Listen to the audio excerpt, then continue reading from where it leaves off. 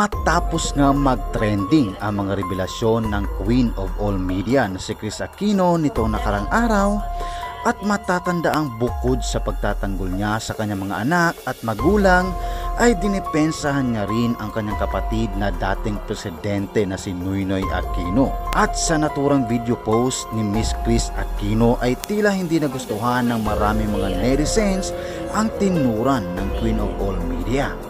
Sinabi nito sa naturang video post na wala silang inagrabyadong tao at minsan hindi nila ginamit ang kapangyarihan ni Ninoy o ni Noynoy para sa sariling interes nila. At sa nasabing video post din na nindigan umano si Chris Aquino ay ni katiting na kusing ay wala silang kinuha sa kaban ng bayan. Ngunit taliwas dito ang mga isiniwalat ni Gretchen Barreto. Sa isang Instagram live nito ay diretsahan na kinuwento ni Greta kung paano inabuso ni Miss Chris ang kapangyarihan ng kanyang kapatid na si Noynoy nung ito ay presidente pa lamang ng Pilipinas. Kaugnay niyan, narito ang buong video post sa IG account ni Miss Greta hinggil sa issue ito.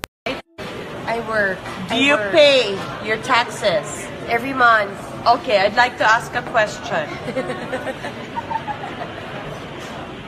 Pag ikaw ba nagbabayad ng tax, kahit piso, kahit isang daang piso, kahit 100,000, isang milyon, whatever it is.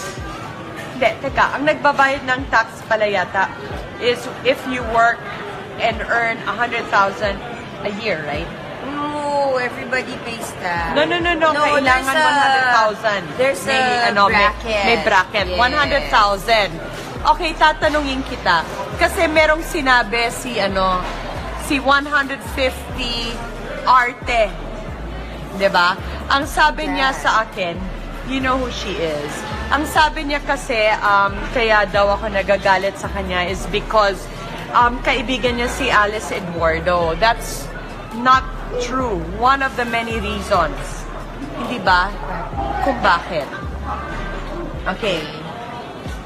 Ah, nagbabayad tayo ng tax, hindi ba? Ano yung Oh, maingay na yun? Nagbabayad ka ng tax, nagbabayad rin ako. sounds small. Hindi. Kay Pati Pineda ata yung song na yan eh. Patayin Song natin. Don't forget me. Hindi naman tayo nakikisawsaw. Ako hindi ako nakikisawsaw sa buhay ng ibang tao kung hindi naman sinasawsaw ang buhay nila sa akin.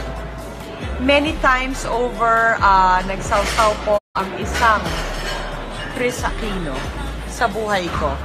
Um, I'd like to answer that. I will... Pero let's talk about the taxpayers' money. Unang-una kasi hindi naman niya binanggit kung ano yung totoo. Hindi ko ibabanggit yung totoo hanggat, pakipatay, hanggat hindi niya aminin ang totoo. 'Di ba Ako naman kasi, I've always been transparent. I don't have reason to lie. I don't want to lie. It's easier to say the truth. Okay, ah yung kay Alice Eduardo, hindi po totoo. Alice, ate Alice Eduardo has always been my friend. Wala kaming alitan ni Alice Eduardo. Sa kapatid niya, kami may alitan. For um, businesses, um, You don't want. I don't want to disclose for now unless i-disclose nila. Ah, si Tony Coangco na aking um, 25 years in February 2 magiging partner ko no in 25 years. Ano, in February 2, February 2, 25 years na kami. He's he's a businessman. Marami siyang ah, ginagawa na na-entangle katulad ng aking mga necklaces. Necklace. Entangle. Nag-entangle tulad ng mga nangyari. Parang negosyo. Parang negosyo. Parang negosyo lang, di ba? nag entangle You know, I'm so not into uh, the business world. Alam niyo naman ako, puro showbiz. I'm a, ah, anong tawag natin? Pag creative, ano ka, pag ano, artist ka, creative ka, you're not good in business. I accept that. Iniiwan ko yun kay Dada.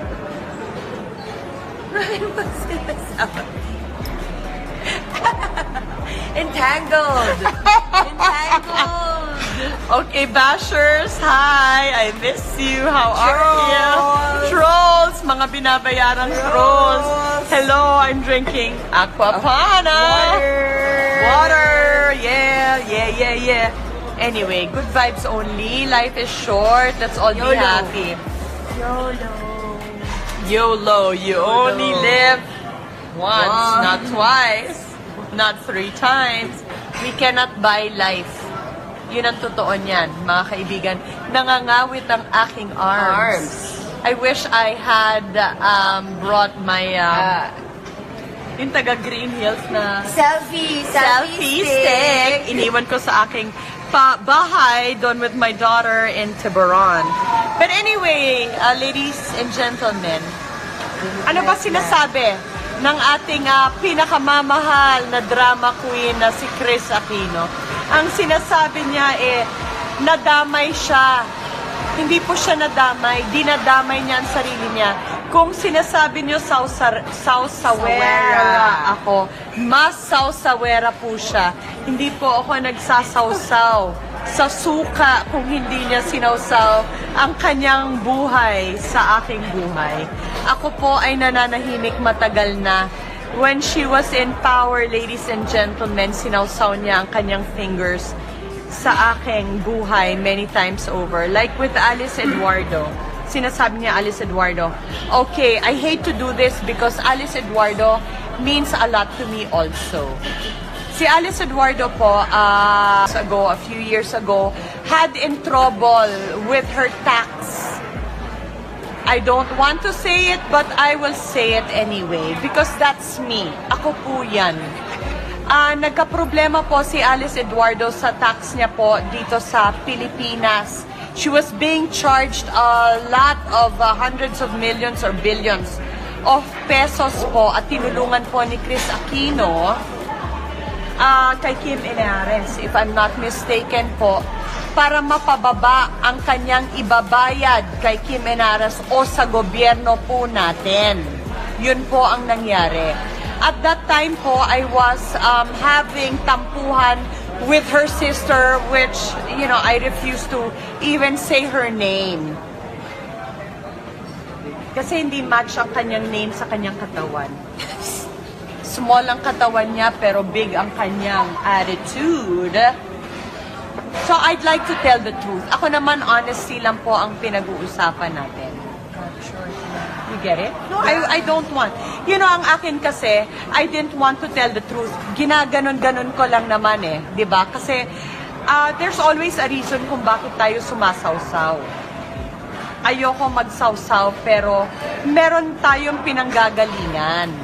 Whether you bash me or not, I really don't care. But at this point, I will tell the truth. Chris, kung talagang mahal mo ang Pilipino at ang buong Pilipinas, sana prinotektahan mo ang mamamayang Pilipino. Because at that time na uh, your brother Abnoy was in power, he was the president of the Philippines. Eh, di ba dapat, ah, kung kailangan magbayad si ah, Alice Eduardo ng kanyang tax, na tayo, mga Filipino people, ang talagang, ah, how do you say it in Tagalog, yung mag, no, no, no, we will, um, how do you say it in Tagalog? When, Translate. What's it in English? in Tagalog, pag ikaw, you know, when you Filipino people, how do you say it? Tayo ang, we will, reap the benefits yes, we will reap the benefits. of the correct tax. Yeah, pero alam mo, tinulungan kasi ni Chris Aquino at that time si Alice Eduardo sa kanyang tax na bumaba ang bayad ni Alice Eduardo sa tax niya. Alam namin yon, alam namin yon dahil pinagkakalat din ni Alice Eduardo at ng kanyang mga kapatid na tinulungan ni Chris Aquino at ang halaga lang daw ay binabayaran lang daw ng mga pinagsha-shopping ni Gary, Gary the gay friend from LA. Gary Garcia from LA, parang he would buy things from the States and send it to Chris Aquino. And uh, of course I felt so bad because alam mo, for, for whatever, yung mga pinagsha-shopping lang, yun lang, parang ha, and she was supposed to pay a hefty amount. Doon pumupunta. Pero one of the many reasons lang yon mga kaibigan. No, I'm not gonna stop. May mga nagsasabing stop. I'm not gonna stop.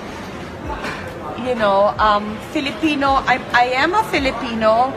We all pay taxes. We all work very hard. So, my point is, prinotektahan ni Chris Aquino when she was in power and she said, I love Ate Alice.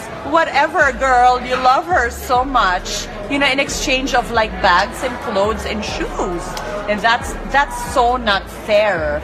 And you know, right now, I mean, I hate to gloat that you know you're you're suffering right now. I mean, we don't like that. We don't like that. We don't gloat when somebody is suffering Yes. because that is karma. But right now, that is what's happening. You know, what you do, what you give out into this universe, you will receive. And I will stop. Yes. Kung ano po ang nangyayari ngayon, I mean, lahat naman tayo may, may, may, may pag-iisip. Pag-isipan niyo po, whatever is happening to us right now is you make your own judgment. So good night, everybody.